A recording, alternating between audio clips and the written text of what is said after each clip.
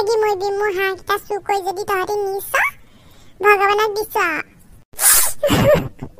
ইমান সপোন দেখি দেখি হাঁহ পুহিছিলো বোলো হাঁহকেইটা ডাঙৰ হ'লে বিকিম বিকি পেলাই ধুনীয়াকে মই শাৰী এখন কিনিম চাদৰ মেখেলা এযোৰ কিনিম ছোৱালীকেইজনীকো ফ্ৰক এটা এটা কিনি দিম নাই আমাৰ নিচিনা দুখীয়া মানুহ হ'লে আৰু ভগৱানে চকু বুলি নাচায় নহয় চুকেইটা আহি পেলাই মোৰ হাঁহকেইটা লৈ গ'লে এটাও নথলে গোটেইকেইটা লৈ গ'ল সঁচলে থৈছিলে সেইটোও লৈ গ'ল টংকে তোৰ বোলে আটাইকেইটা হাঁহ চুৰি আনিলে নক'ব আৰু খুৰীদেউ এটাও বাকী নাই পোৱালীকেইটাও নিলে আন নালাগে এনেকৈনো হ'ব লাগেনে বাৰু আৰু চুৰ কৰিছ কয় এটা নেচোন গোটেইকেইটানো নিব লাগেনে আৰু বাচি দুখীয়া মানুহৰ ঘৰতহে চুৰে চুৰ কৰে গম পাইছেনে ধনী মানুহৰ ঘৰত নকৰে নে এনেই আমাৰ অৱস্থা পাতি বেয়া বকে পুহি মেলি খাই আছিলো চব লৈ গ'লা হৰি হৰি আৰু দেই এনেকুৱানো হ'ব লাগে মোৰ এতিয়া ভয়হে হৈছে মোৰো হাঁহে কুকুৰাই ছাগলীয়ে গাহৰিয়ে গোটেইখন চুৰে নিয়ে বুলি মোৰ একদম চিন্তাহে হ'ল আৰু দেই কি হ'ব এতিয়া বা কিবা উমুঠান পাইছেনে কোনে দিলে?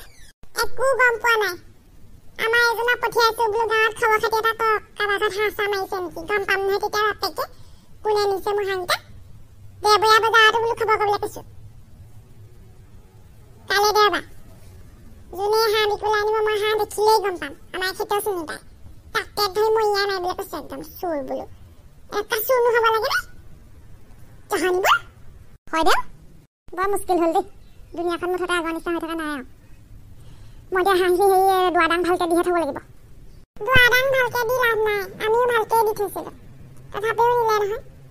সঁচাকৈ পাই তোলৈ বেয়াহে লাগিছে আকৌ পাই মোৰ। আমাৰ এখেতে সেই ভি ডি ভি পাৰ্টিক সুধিলে ৰাতি আমাৰ গাঁৱৰ ৰাইজে যে পঢ়া দিয়ে যে অচিনাকি মানুহ এজন পাইছিলে বোলে কাইলৈ পঢ়ি সেইটোৱে চুৰ হ'ব লাগিব অইন নহয়। থানাত গৈ এফাই এখনহে দিমগৈ বুলি ভাবিছোঁ। এনেকৈ নহ'ব নহয় আটাইকেইটা হাঁহ লৈ গৈছে। ধেমালি নেকি?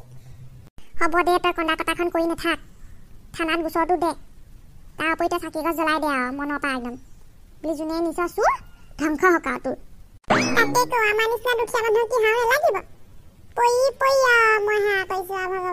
হ'ব দে কান্দি কাটি নাথাক ময়ো যাওঁ। হাঁহকেইটা মেলি থৈ আহিছোঁ ভয় লাগে নহয়। দিনতে চুৰ কৰিব আজিকালি যিহে চোৰৰ উপদ্ৰৱ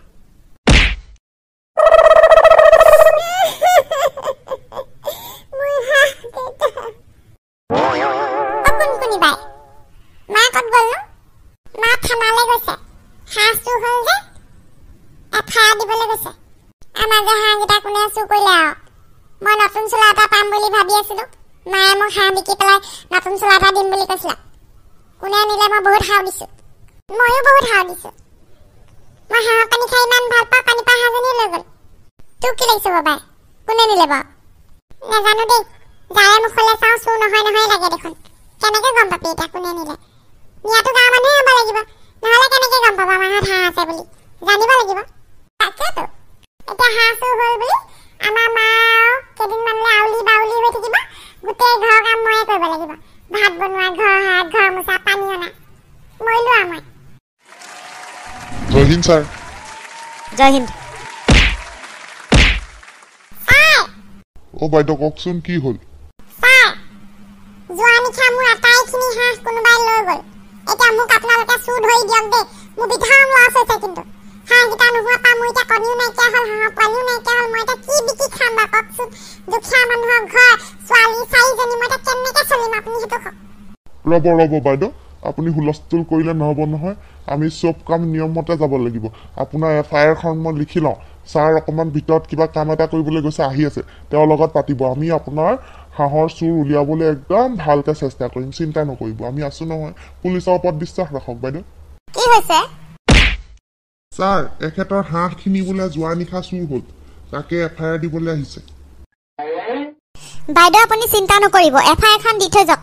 আমি দলে বলে গৈ আপোনাৰ হাঁহৰ চোৰ বিচাৰিমগৈ। আপোনাৰ নাম এড্ৰেছ সকলোখিনি লিখাব। মই এফাই লিখিব নাজানো নহয়। চতুৰ্থ শ্ৰেণীলৈকেহে পঢ়িছিলোঁ। হে বাইদেউ চিন্তা কৰিব নালাগে। আমাৰ হবলদাৰে লিখি ল'ব। আপুনি কৈ গ'লেই হ'ব। এফ আই আৰখন লিখি লোৱাচোন অ' বাইদেউ আপোনাৰ ঘৰ ক'ত? আপোনাৰ নাম কি?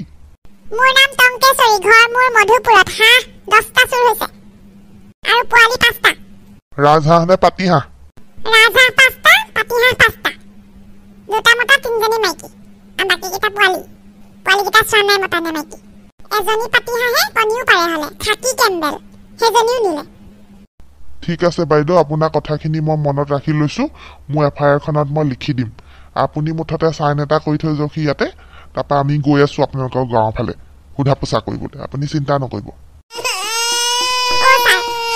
অ' ছাৰ মোৰ বাৰু ঘূৰাই? সেইটোহে গেৰাণ্টি দিব নোৱাৰিম। এতিয়া চোৰে আপোনাৰ হাঁহ নি বিকিলেগে নে খালেই নে? ৰাতিটোৱে হাতীটোৱে সমান। এতিয়া আমি তদন্ত কৰিলেহে গম পাম। পৰাপক্ষত পালেতো ভাল কথা নেপালেও উপায় নাই। চোৰক শাস্তি বিহিম কিন্তু সেইটো একদম নিশ্চয়। ঠিক আছে বাৰু মই যাওঁ এতিয়া। কিবা গম পালে মোক খবৰ দিব দেই ছাৰ। ঠিক আছে বাইদেউ। ব'লা ব'লা হাঁহ চোৰ ধৰিবলৈ যাওঁ। দেৰি নকৰোঁ। জীপখন উলিওৱা। ছাৰ জীপখন বেয়া হৈ আছে নহয়।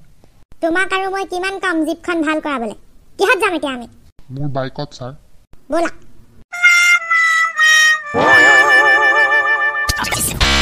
অ' ৰ'বাচোন ৰ'বা এই মধুপুৰ গাঁও কোনখন এইখনে নেকি?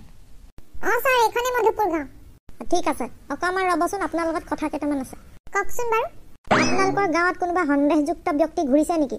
যাক আপোনালোকে প্ৰথমবাৰ দেখিছে আপোনালোকৰ চিনাকি নহয় এনেকুৱা কাৰোবাক আপোনালোকে দেখা মনত পৰিছে নেকি? আমাৰ তাত মানে এফ আই আৰ এখন আহিছে টংকেশ্বৰী নামৰ মানুহগৰাকীৰ পৰা। তেওঁৰ হাঁহ চুৰ হৈছে হেনো। তেনেকে অচিনাকি মানুহ মই বাৰু দেখা নাই। আমাৰ ভি ডি বি পাৰ্টীয়ে ৰাতি বোলে এজনক লগ পাইছিলে কোনোবা দিনা। গাঁওভাগ কাইদেউ ঘৰলৈ গ'লে মানে আপোনালোকে গম পাব। চিধা চিধি গ'লে ডাঙৰ যিটো ঘৰ পাব নহয় ধুনীয়াকৈ সেইটোৱে গাঁওভাগ কাইদেউ ঘৰ। পিছে আমাৰ ঘৰতো হাঁহ আছে আমাৰ মায়েও বেলেগ ভয় খাই আছে। আপোনালোকে সোনকালে চুৰটো ধৰক নহ'লে কোনদিনা কাৰ ঘৰ হাঁহ গৰু ছাগলী চুৰ হ'ব ঠিক নাই। হ'ব দিয়ক আপুনি গৈ থাকক। ছাৰ ব'লক। গাঁওবুঢ়া ঘৰৰ পৰাই আহোঁগৈ। ব'লা। পুলিচেনো ক'ত সহজে চুৰ বিচাৰি পাব? হাঁহকেইটা ভালকৈ ৰখাই ভাল হ'ব। ঐ সঁচা কথা ক। তই টংকেশ্বৰীহঁতৰ ঘৰৰ পৰা হাঁহ চুৰ কৰিছিলি নে নাই? ছাৰ নাই কৰা। কিমানবাৰ কম আৰু নাই কৰা আৰু নাই কৰা। ঢাই কিলোকা হাতহে। দুঘচা পৰিলেই মৰি থাকিবি কিন্তু সঁচা কথা ক। যোৱাবেলি মতলীয়া গাঁৱত কুকুৰা চুৰ কৰোঁতে তোক ধৰা পেলাইছিলোঁ। লাজ নাই আকৌ হাঁহ চুৰ কৰিছোঁ এইবেলি মধুপুৰ গাঁৱত। অ' নাই কৰা অ' ছাৰ মা শপত ক'লে বুজি নাপায় নি বাৰু? আপোনালোকে ইমান পিটিলে যোৱাবেলি ভয়তে মই চুৰ কৰিবলৈ এৰিলোঁ আজিকালি শাক পাচলি বেপাৰ কৰোঁ। লোকৰ ঘৰত কাম কৰোঁ হাজিৰা কৰোঁ সেইবোৰে কৰোঁ। মই চুৰ নকৰোঁ কিন্তু। কাক উল্লু বনাবলৈ আহিছ? এইবেলি যোৱাবাৰতকৈ বেছি ধুলাই দিম কিন্তু। উল্টাই লটকাই ৰাম টাঙোন দিম গৰম লোহাই পিটন দিম জলকীয়া গুৰি সানি দিম তেতিয়া গম পাবি। মই চুৰ নাই কৰা ছাৰ এবাৰ কৰিলোঁ বুলি। বাৰে বাৰে ময়ে কৰিম নি বাৰু? মই নাই কৰা। আৰু ৰাজহাঁহলৈ মোৰ এনেও ভয় লাগে ইমান খুটিবলৈ খেদি আহে। মই ৰাজহাঁহ চুৰ কৰিব পাৰিম নি বাৰু? আপোনালোকক কি লাগে বাৰু কওকচোন? বেছি এক্টিং নকৰিবি। তোৰ এক্টিং চব জনা আছে। ধৰা পৰিলেই হ'ল আৰু তই। তই আমাৰ নজৰত আছ কিন্তু সাৱধান। আজিলে তোক এৰিছোঁ প্ৰমাণ নাই কাৰণে। যিদিনাই ধৰা পৰিবি তেল সানি থবি পিঠিত। হ'ব ছাৰ হ'ব। মই চুৰ কৰিবলৈ কাহানি বাই আহিলোঁ যি লোকৰ চাদা অকণমান চোন অকণমান তামোল এখন চুৰ কৰিছিলোঁ সেইটোও এৰি দিছে পৰা মায়ে কচম শপত খাই কৈছোঁ যা এতিয়া ফুট। কি হ'ব এতিয়া কেছটো? তাকেহে। হাঁহ চুৰ বিচাৰি বিচাৰি নাপালে বৰ লাজৰ কথা হ'ব কিন্তু। অঁ মানুহে এনেই আমাক বিশ্বাস নকৰে আমি একো কৰিব নোৱাৰোঁ বুলি। এতিয়া যদি হাঁহৰ চোৰকে ধৰিব নোৱাৰোঁ আৰু নাক কটা যাব। ব'ল ব'ল আকৌ ইনভেষ্টিগেশ্যন কৰোঁগৈ। আজিকালি আমাৰ গাঁৱত ইমান চুৰ তুৰ হ'বলৈ ধৰিছে। কিবা ভালেই নলগা হৈছে মতলীয়া গাঁৱৰ ৰকম হৈছেগৈ আৰু। তাতহে মানুহবোৰে খাই বৌ ক'ব নোৱাৰা হৈ চুৰি দায়ী কৰি থাকে। আমাৰ গাঁওখন আকৌ নাম আছিলে আগতে পাই এনেকুৱা কাণ্ডবোৰ নহয়। আজিকালি বকে হ'বলৈ লৈছে। সঁচাকে পাই শইকীয়া আমি ডেকা হৈ থাকোতে আমাৰ গাঁও একো বদনাম নাছিলে। একোৱে নাই আৰু। কাজিয়া পচাল হাই উৰুমি চব মানুহ শান্ত শিষ্টকে থাকে নিজৰ নিজৰ ঘৰত থাকে মিলা প্ৰীতিয়ে থাকে। এতিয়া মুঠতে চুৰ আৰু ক' ক' কাজিয়া মাৰপিট শুনিলে মনত পৰিলে এইবোৰ আৰু মোৰ বেয়াহে লাগে আৰু। তাকেহে শইকীয়া দা? আজি পিছে কিমান দেৰিলৈকে ডিউটি কৰিব ৰাতি? চোৰক ধৰিব পাৰিলে মইতো একদম ৰাম টাঙোন দিম বুলি আহিছোঁ। আজি আমি ৰাতিটো ডিউটি কৰিলেও লাভ নাই। চুৰে থৰি না লগালগ ইটো পিছত সিটো চুৰি কৰিব। গম পাইছে? এঘৰত চুৰ হ'লে বাকী মানুহবোৰ সজাগ হৈ থাকিব। এইটো চুৰ পঢ়াৰ পিছতহে আকৌ চুৰ কৰিবলৈ আহিব। শইকীয়াদাৰ কথাত কিন্তু দম আছে। চোৰে ইটো পিছত সিটো চুৰি নকৰে অকণমান ৰ'ব নহ'লে ধৰা নপৰিব। কথাটো হয় পিছে। কিবা এটা শুনিছ হাতনে বৌ কি শুনিলে আকৌ গা ভাগ কাইদে ৰচ ৰ শুনিলি হাত মানে চোৰ বেলেগ নহয় শিয়ালহে। হ'ব পাৰে। হয় হয় গা ভাগ কাইদেউ শিয়ালহে হ'ব যেন লাগিছে। আৰু শিয়ালৰ মাতটো বৰ একদম আচহুৱা লাগিছে কিন্তু। বহুত দিন শুনাই নাছিল পাই শিয়ালবোৰ নাইকিয়া হৈ গৈছিলে। এইকেইটা শিয়াল একদম খুংখাৰ যেন পাইছোঁ।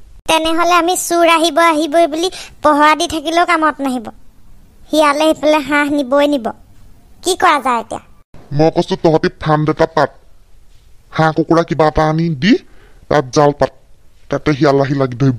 বন বিভাগক চমজাই দিম আৰু। আমি জালখন এইখিনিতে পাতি মানুহখিনি লুকাই থাকোঁ বলক। বলক বলক ক'ত কি লাগে লৈ আহোঁ। ব্ৰইলাৰ দোকানীৰ পৰা ব্ৰইলাৰ মাংস থাকি গৈছিলে নেকি অলপ খুজি আনোগৈ। মই জাল এখনকে আনোগে। ঐ পানীয়াম ক'ত পালিও মাংস সোপা? ব্ৰইলাৰ বেপাৰীৰ পৰা খুজি আনিলোঁ থাকি যোৱা মাংস। বল বল আমি লুকাই থাকো। যেতিয়া শিয়ালে খাবলৈ আহিব তেতিয়া জালখন মাৰি পঠিয়াবি। অ' শইকীয়াদা একদম সাজু থাকিব দেই। শিয়াল অহাৰ লগালগ জাল মাৰিব কিন্তু। চিন্তা নকৰিবি। কিমান মাছ মাৰি মাৰি খালো এতিয়া শিয়াল ধৰাটো কি ডাঙৰ কথা। বৰ ভয়ানক শিয়ালো এইকেইটা অ' শইকীয়াদা মাৰক মাৰক জালখন মাৰক। ৰ ৰ মোৰ বৰ ভয় লাগিছে। ঐ। নপৰিলে কি হ'ব? আমাক দেখিলে আমাকে গিলি থব এইকেইটা কেনেকুৱা কেইটা দাঁতকেইটা বজুঙা জোঙা এইকেইটা অ' ইমান ভয়াটো নে আপুনি? মাৰক জালখন মাৰক। ৰ ৰ ৰ ৰ আইঅ' বচাও ঐ শিয়ালকেইটাই শইকীয়াকে গিলি থব। আইঅ' বটি। অ' শইকীয়াদাক বচাবলৈ হ'লে আমি আটাইকেইটা একেলগে জাপ দিব লাগিব। ভয় খাই শিয়াল পলাব তেতিয়া। নহ'লে শইকীয়াদাক আজি গিলি থোৱাটো একদম খাটাং। ওৱান টু থ্ৰী আইঅ' ঈশ্বৰ কি ভাল বাচিছো শিয়ালৰ মুখৰ পৰা দেই। জমৰ আগদুৱাৰ দেখি অহা যেন লাগিলে আৰু মোৰ এনেকুৱা ভয়ংকৰ শিয়াল মই দেখা নাই। আৰু এইকেইটা শিয়াল ধৰিবলৈ ফাৰ্ষ্ট মানুহ মাতিব লাগিব।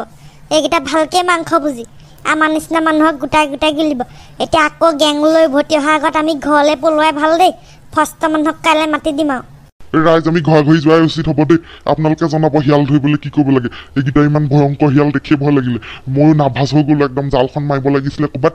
মাৰি দিলোঁ ক'ৰবাত। অৱশ্যে এখন জালত দুটা শিয়াল নোসোমালেহেঁতেন ইমান প্ৰকাণ্ড প্ৰকাণ্ড শিয়াল। আমাৰ আজি খণ্ডটো চাই কেনেকুৱা পালে জনাব। ভাল লাগিলে যদি লাইক কৰিব কমেণ্ট কৰিব যিমান পাৰে শ্বেয়াৰ কৰিব। আৰু চেনেলটো ছাবস্ক্ৰাইব কৰা নাই যদি ছাবস্ক্ৰাইব কৰিব ফেচবুকত চাই আছে যদি ফ'ল' কৰিব।